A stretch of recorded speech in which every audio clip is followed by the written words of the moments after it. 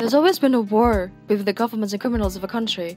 Governments all around the globe are making efforts to prevent crime so that the people in the country can feel safe. There are many technologies that can help police to reduce the crime, and AI is one of them. Companies and cities all over the world are investing in AI for crime prevention and detection, and the idea behind this investment is that the crime can be predicted and detected easily using AI system. Although the crime rate has shown a decline in many countries, criminal activities haven't been tackled efficiently. In the USA itself, the violent crime rate and property crime rate have declined by 3.3% and 6.3% respectively. The rise of AI in crime prevention detection is helping companies and government to reduce the occurrence of criminal activities, and these are how AI in crime prevention and detection is helping companies and governments. First one is to detect gunfire. Police can reach the location where gunfire takes place without anyone calling them. How can that be done? The answer is with the help of AI technology. For example, sensor can be inside the city infrastructure. The sensor will be connected to a cloud-based application that can reliably detect and accurately locate the gunfire. Every sensor captures the time and the sounds of the gunfire, and the sensor can also help determine the positions of the shooter.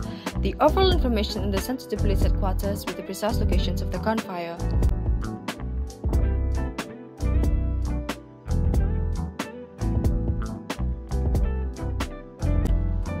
Solving complex cases of murder requires a dogged investigation.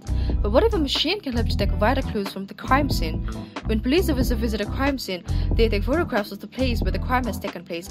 AI-enabled system can help detect clues from the police photographs. For example, a toy or a weapon from the crime scene which is captured in the photographs can be searched for in the police database to find if it is the same toy or weapon is used in the any previous murders.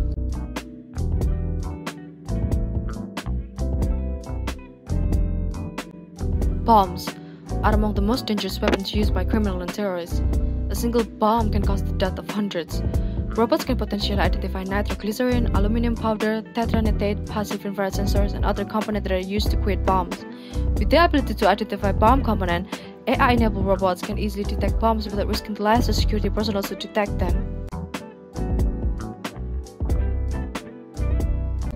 AI for crime prevention can also do three things. The first one is predicting crime spots. Imagine a thief arriving at his next heist to find the police already waiting for him. Ooh, yes, it can be done by using AI technology. An AI system along with the big data can help in detecting crime spots. Crime types tend to cluster with space and time. For example, a rash of thefts in one area could help predict that similar incident might happen in the surrounding areas in the future. Many times, criminals communicate regarding a crime over the internet. AI can help monitor the content that is transferred on the internet with an algorithm that can detect any unusual activities or communication going on between criminals. Then, AI system can send information to the relevant law enforcement department, which can help identify the people who are about to commit a crime.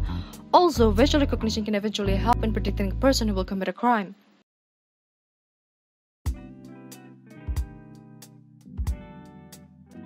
And the last one is to decide pre-trial release. After being charged for any crime, most suspects are usually released from jail until they stand a trial. In the traditional system, judges have to decide within minutes whether an individual is a flight risk or a serious threat to society. The traditional system is an imperfect system open to bigotry, as judges tend to give different judgment according to the point of view towards the crime. AI can improve the current system and help in deciding the release of an individual to determine whether an individual should be granted a pre-trial release or not.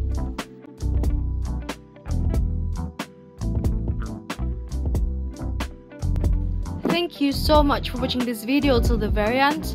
And would you be so kind to give this video a thumbs up and a comment down below. And I'll see you in the next video. I'm joking there's no such thing. Ta-da